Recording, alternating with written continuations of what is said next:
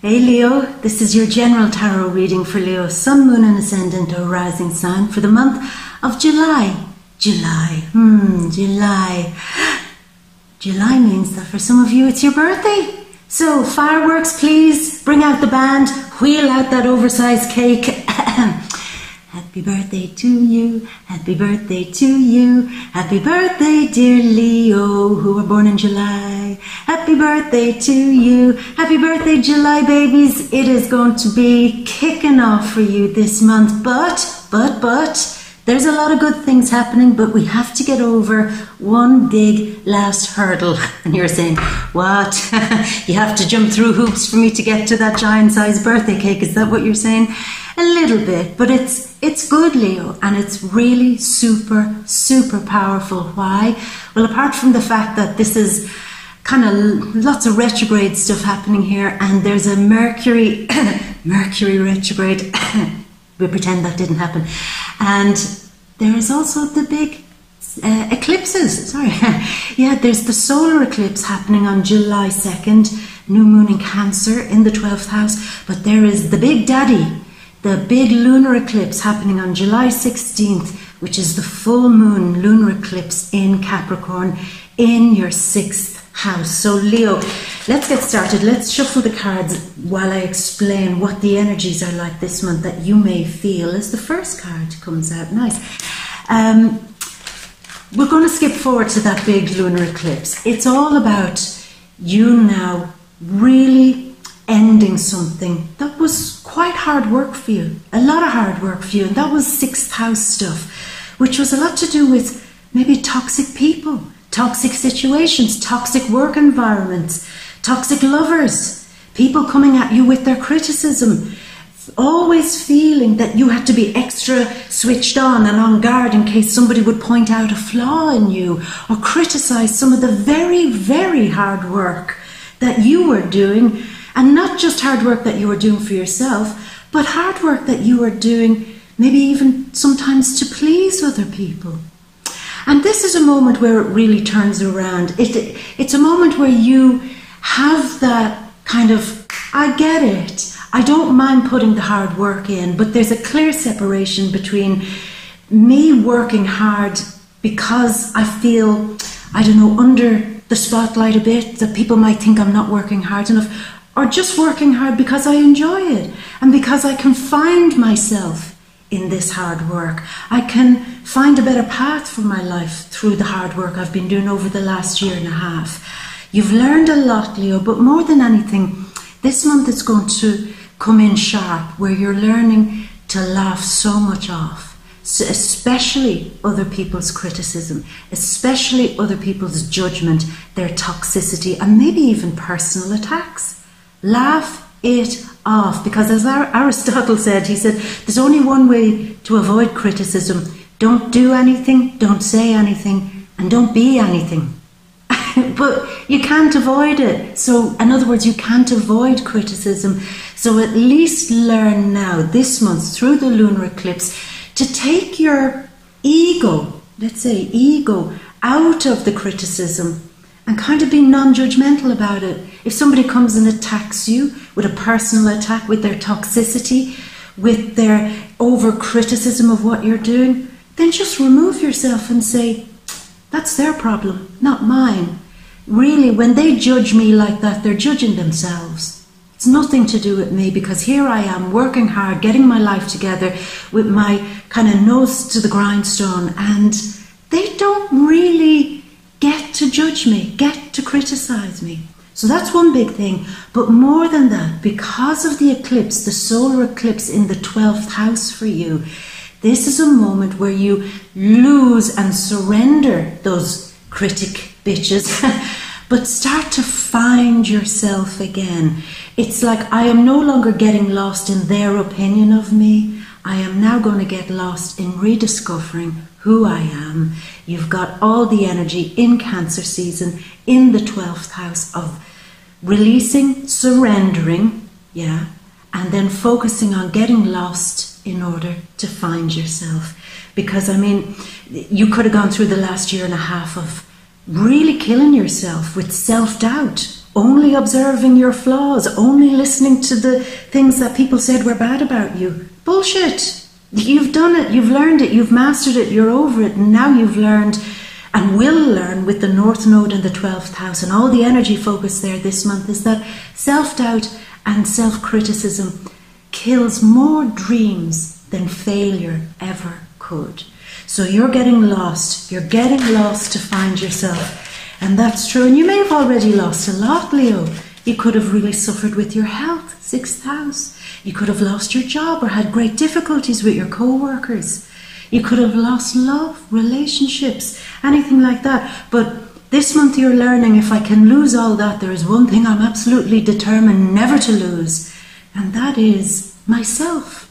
Because if I lose myself, then I've truly lost something here.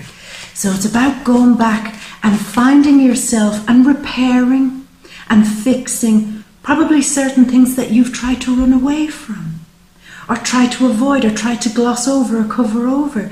It's like get your sleeves up now, love, and get your fight back. I always tell you this, Leo, get that Leo force back and go in and fight your corner. Standing up for yourself doesn't mean you're a bitch or an asshole. Standing up and defending, uh, I deserve a good relationship, isn't about you being some kind of royal kind of snob. This is about I deserve this. I deserve this. And I'm going to have to start, you know, baring my claws a bit more. I'm always encouraging you to do that, Leo, because I feel that you've felt that huge pressure under other people watching you and saying, I wonder what Leo will do now.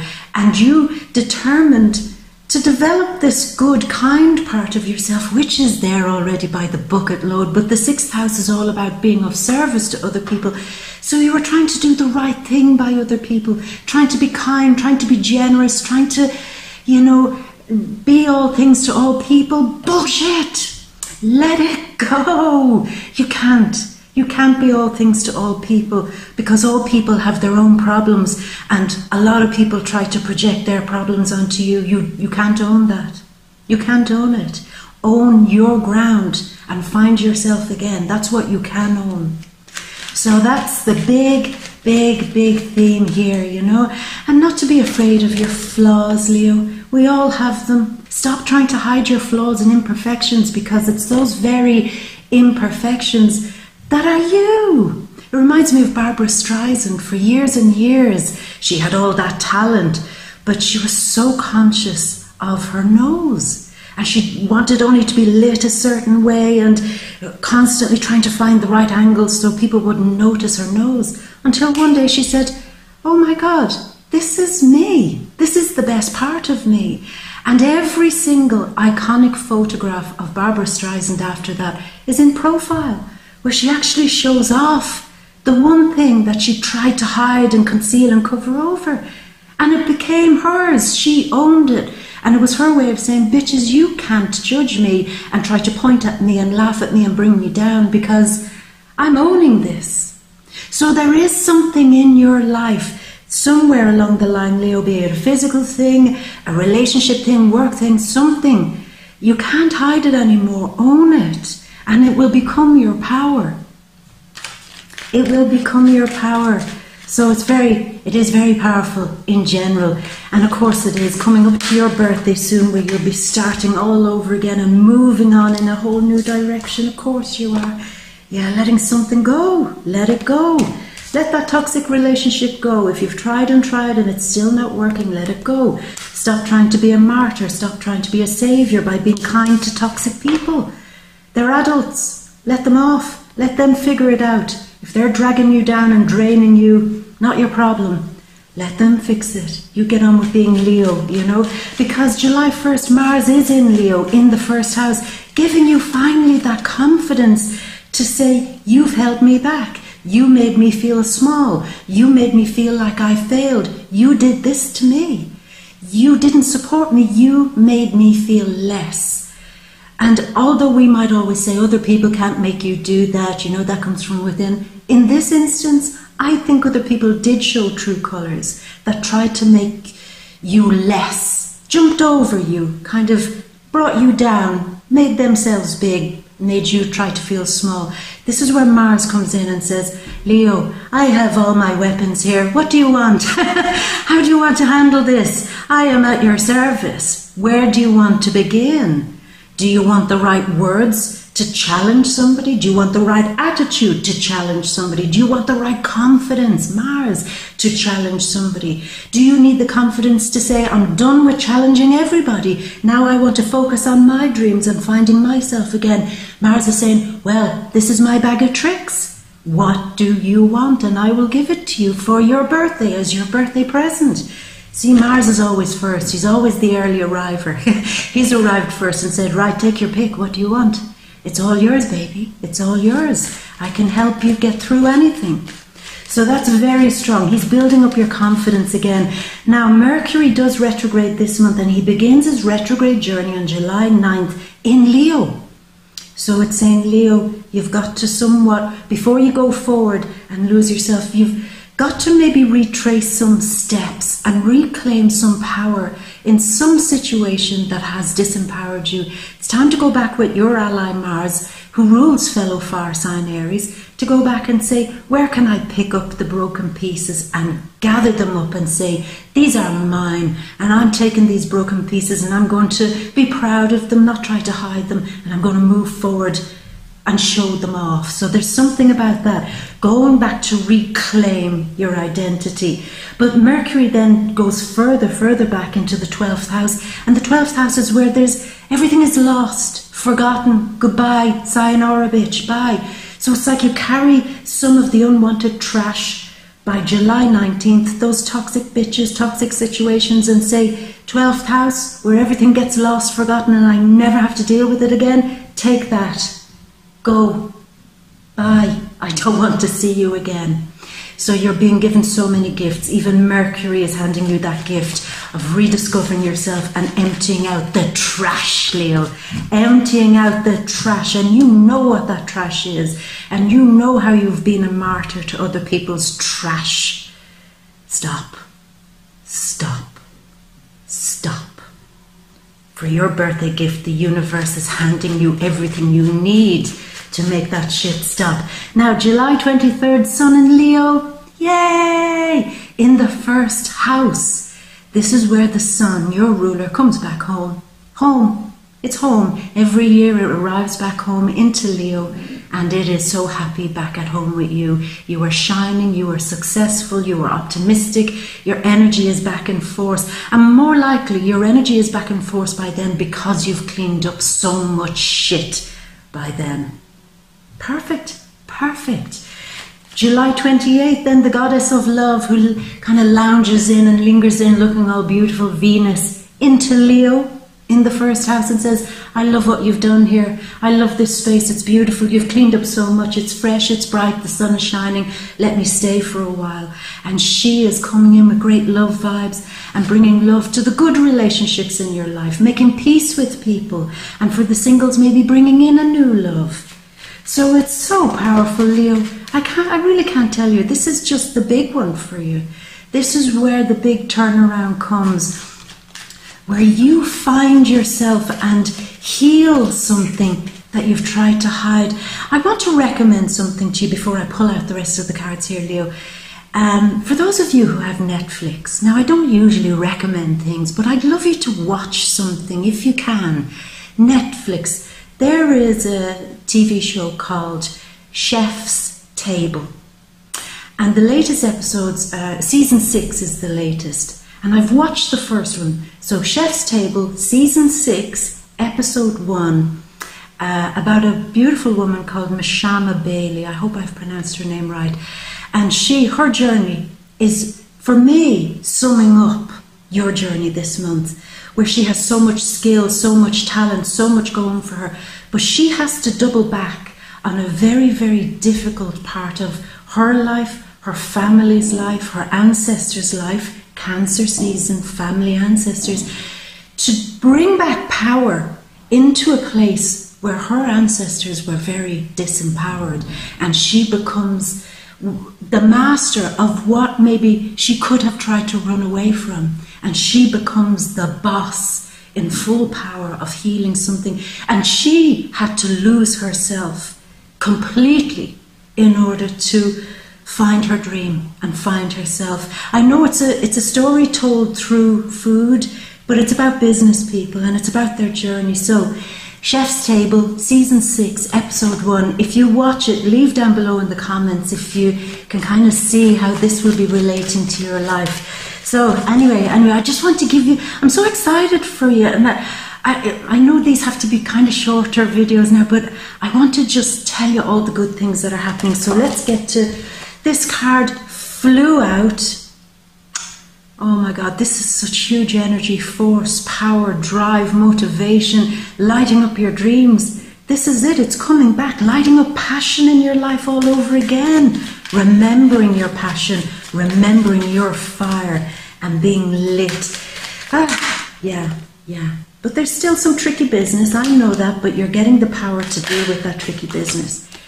And you're taking that big leap of faith. Oh, Leo, I love it, I love it. I love it.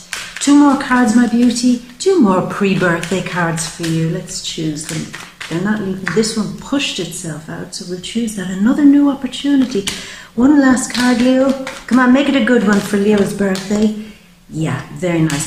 So, Leo, finally, I'm going to bring you over to the ta-da birthday big overview. So here we go, Leo. We open up with good news. Somebody is approaching you somebody approaching the fire king, the fire royal, someone's approaching you with something positive, something that you really want, maybe even an offer that changes everything. Now, that could be an offer to do with work, with love, with a new project, just a new opportunity, but it fills you with passion. This is inspiration. This is a moment of your cup being filled up all over again and feeling like in the cups that you're more intuitive, more sensitive, more in touch with yourself. So somebody is definitely coming to show you a new way and to bring you back your power. If it's love, it's strong love. Strong, strong love. I'll try to figure out who that is. Uh, who could be bringing you love? I see strong Aquarian vibes. I see strong Scorpio vibes. I also see the fire signs Aries, Leo, and Sagittarius. Um, but we'll go through it anyway and see. But something right from the beginning of the month communication with somebody about a work offer that could involve you going right out of your comfort zone. Maybe having to move far away, having to pack up all your bags and say, Goodbye, old life, I'm starting over, and move somewhere that's more you, but more secluded. You see, it's peace, quiet, seclusion, privacy, calmness that you need now, Leo, where you're able to get on with your life without the hustle and bustle and people coming at you and go, go, go. You want something more peaceful and beautiful.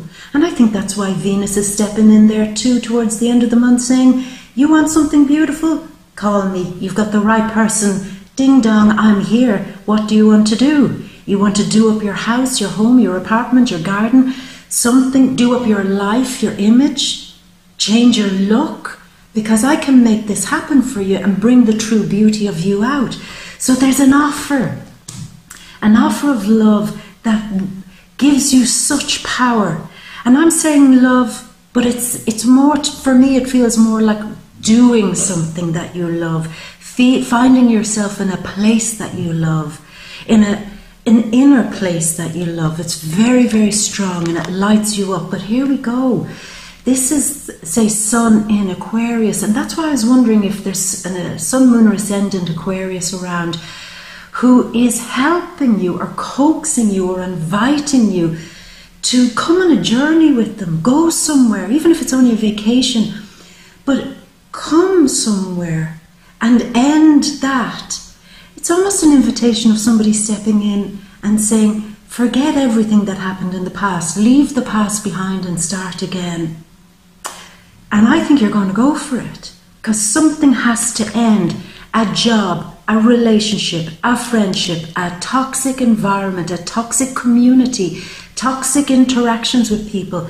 It has to end. Sometimes this is. Um, maybe getting a sudden illumination, a sudden realization about some communication you're having with people that just as toxic, and particularly on social media. It's time to make a big call. Go through your friends list and delete.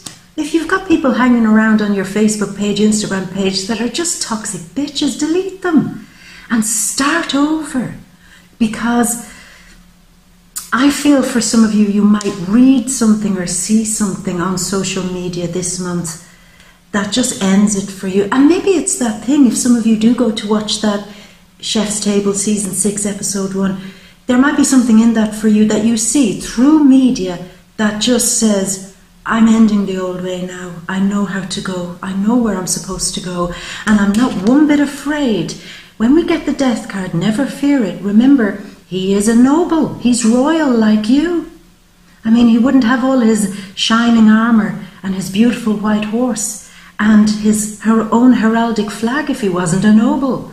And he's some powerful dude that he can come in and knock down the king and the say the belief system. He can knock it all down. This is no slouch. He can take everything and knock it down. So if you have any fear of moving away from somebody or some toxic situation, don't, because when he shows up, he's saying, I've got your back. I mean, don't fear. Don't fear getting over something or getting through something or moving on from something, because I will make sure that I tread a new path for you, but I also, with all the energy in the 12th house, I'm doubling back, Mercury retrograde, doubling back and destroying anything that threatens your new path. So that's quite strong. But look, Leo, Leo, for the singles, and maybe even for some of the couples who are coming to the end of a relationship, and cross watchers, don't panic. This will be obvious if it's you, okay? Um, some of you are being offered new love. There is a new union with somebody. It could be a, a new friend, a new lover uh, a new business adventure, new work atmosphere, team, whole new attitude, something that you love doing. You've been invited and coaxed and saying, Come, Leo, come. And you do it. And you love it. You're going to find yourself, even from mid month, already in a happier place. Because I do believe with the lunar eclipse this month, the full moon in Capricorn, it could get very heightened Somebody could come again with drama, toxicity, and really push you to that point where you have to say, Mars, Mars, where are you with all your weapons? I need help. I need help. I, I can't do this on my own. And Mars is saying, Well, I will help you. I will help you stand up and get the confidence needed. Another fire energy. Confidence needed. And when you have it, when you find this better situation, better environment, better relationship. And it's, it's what your soul wants. This is like a soul energy card. When you find it, you're so much happier. You see, this is a very intuitive card too. You see the cat. The cat is using it, its night vision. It can sense anybody who's approaching, the queen is able to look away and say, Let my intuition see if these are toxic bitches, if these are no energy people, vampires trying to drain me. If they are, I can see you, I can see you, and I'm not going to entertain you. See, my face is turned away. But if you come at me with the right energy, I will suddenly turn and look at you, and I will give you my strength back and double that. Multiply strength for the thing that you are destined to do, that you're passionate to do. There's no more confusion, it seems. Something is becoming super clear, and you're lighting it up but before you're lighting it up, I do see mid month there's some challenge. Strongly feel it. It's somewhere to do with your work life and maybe even your home life. Some toxicity going on there with family or work, and you're just striking out on your own. I told you Mars would hand you a weapon. Now, hopefully, not a real weapon. We don't want to actually do any physical damage here, okay? but Mars is handing you that weapon and you're saying, look, this weapon is bigger than all of theirs. I can go in and I can end some fear that other people are trying to put me down. This is sometimes the card of competition, strong competition. It's almost like play fighting, but there's a seriousness behind it. So sixth house is sometimes like that, where it's subtle jabs, people saying something nasty to you and saying, "Oh, you can't take a joke." It's quite bullying and it's quite dark at times. It's manipulative. Uh, if anybody is doing that to you, that's quite abusive. You know, somebody every time you try to do something, they might roll their eyes, or and and you can't quite put your finger, but you on it, but you know that they're judging you and they'll smile and say, Hey, what's your problem? What's your problem? And you're saying, Enough with that. That is subtle shade. And now that the sun is coming to me, I don't do shade anymore, bitch. I don't do it. And I have all the strength needed to win through some competition and rise above it. You see, this is not so much the energy of going in on the attack this is more the energy of feeling I'm so strong in myself that I don't have to get all messy like these bitches. Look at them. They're all fighting. I'm bigger than you. I'm better than you. I'm more beautiful than you. I'm this, I'm that. They just don't look like they have anything going. They, they're, they're chaos. They're mess. But you stand alone. The universe gives you your own stick and says, Here, untangle yourself from this mess and walk on into your future very strong. And not just walk on into your future, but take a huge leap of faith and dive right in. Don't think about it, Leo, do it. No more thinking about it. Because Mercury is, say, the moon and Mercury, moon is where we think about things. And you've got solar eclipse now uh, in July 2nd saying, I'm only thinking about losing myself, jumping into my destiny. 12th house, where the north node of destiny is. I'm jumping into my destiny where I need to be, not here, but there. And then, excuse me, the solar eclipse on July 16th saying, I have now seen how toxic certain situations have gotten. And I'm, I'm not going to think about it. I'm just jumping into it. And Mercury retrograding in Leo, then back into Cancer and saying, let's jump away from that trash and start over with the sun on my back, taking very little with me. I don't know why I get the feeling, Leo, that some of you are really doing that thing of just take what's needed and go. I'm not going to wait for this and that and this and that and wait for these people to get it together and wait for this situation to come together. Just, I'm taking what I have and I'm just going. I'm just going leaving that job, leaving that situation, leaving that whole nightmare thing going on there, just pack a small bag and go. And jump into your destiny. And when you do, there's a bit of hard work that's going to be involved. Yeah, sure.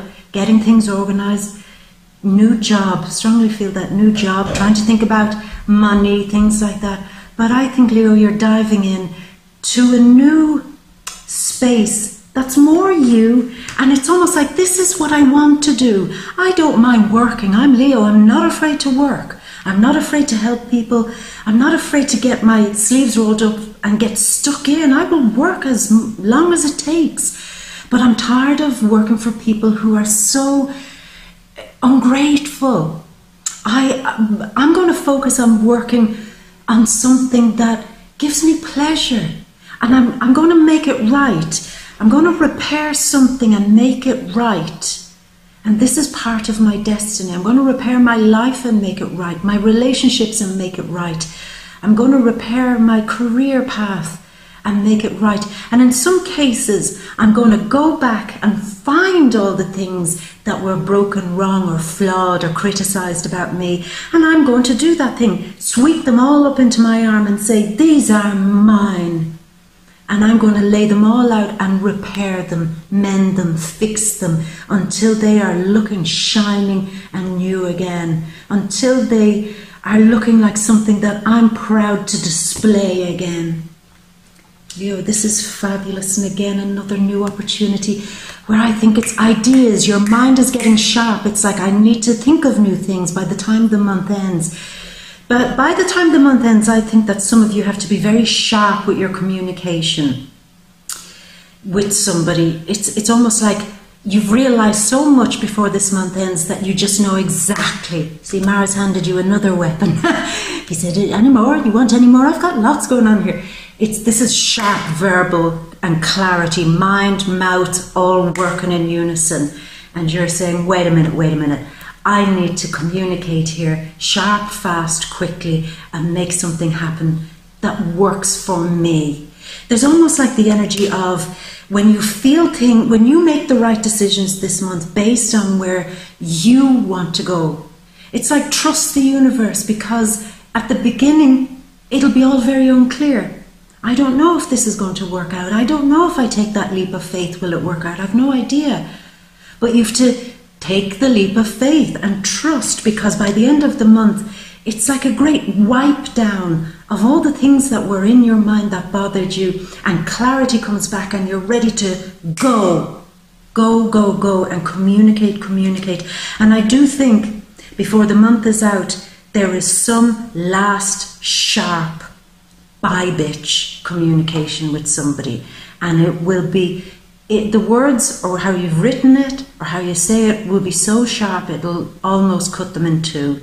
It will be coming from your point of power and your truth and your honesty, and that is always the most powerful place in all of us. We can do anything when we tap into that power, but I see new beginnings, Leo. Down with the old and in with the new and let everything fall by the wayside. And the strong characters this month for you are the fire signs. You have a good comrade in Scorpio, Sun, Moon, or Ascendant who's helping you, maybe a family member or somebody that's maybe part of your soul tribe, helping you clean up some things. You've got the fires, you've got Leo, fellow Leos, you've got your Aries, you've got your Sagittarians, definitely helping you. Definitely and you are taking big, bold leaps of faith. At the very end of the month, it could be, I'm feeling Aquarius, Sun, Moon, or Ascendant could be helping you to get your shit together. Now, that can work two ways. It could be you putting an Aquarius in their place, possibly. Or it could be the Aquarius that's saying, Come on, Leo, you're bigger than this, you're smarter than this, let's get it moving. Either way, they're a big catalyst for change. Leo this is big, this is powerful, and this is where you get everything back. And this is a weird month because it will feel like everything's happening on a very subtle level and on a very empowering, personally empowering level. And it's, it's building and building and building and building until before your birthday comes, it's like You've been waiting for me. You've been waiting for this moment. Here I am. Here I am. Leo is back. And I'm in a playful kind of mood because I'm not so bothered by other people's criticisms. I'm just in the mood to love, to laugh, and to make my dreams come true. Leo, I love that. I just love it. Leo, I'm very happy for you. Now, you know, of course, Leo, these are the general landscape birthday cards. To get your real kind of nitty gritty detail, find out the absolute detail birthday cards, you have to come, of course, to the Vimeo readings, the deep read. They're linked down there somewhere in the description box. Come along again, Leo, and we'll open all the things out. Those of you in a relationship will find out what the heck is going on pre birthday for you. The singles, let's see what's happening there because I do see that there's potentially something moving and shaking there for you. We're going to talk about money and career. We're going to talk about family, friends, and we'll talk about other things that we don't discuss here. Getting right into it, Leo, as you know, the deep read, link down there below. Come along. My beautiful, I'm really, really happy for you. And I'm going to leave it at that. And I'm going to leave you with all my love and a big, big, big birthday kiss, pre birthday kiss for you, my beautiful. Until next month, my gorgeous. Happy pre birthday, happy birthday, and bye.